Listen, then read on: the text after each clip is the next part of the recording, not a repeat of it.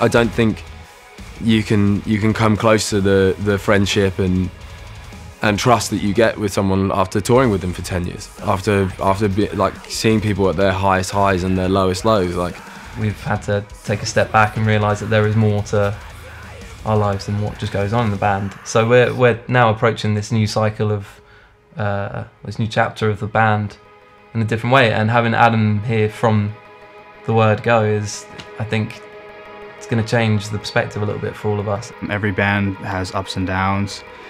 Um, it's been really, really cool to see how hard work pays off, which I think everyone can appreciate, and it makes makes everything a lot more rewarding that way, rather than just you know, kind of getting some sort of success really quickly. The band, the band has worked very, very hard for a long time. Some bands make it a competition almost, you know, the grass is always greener, well that band has this and that band's done that and I think probably for the first time ever we can honestly say we don't feel like that and we feel very fortunate. We feel like we are our own band. You know, you can get to there, but then there'll be the next step, and there'll be the next step, and there'll be the next step, and it's it's really like holding on to smoke, thinking that somehow if we achieve this, it's going to be some sort of salvation, and life isn't about that.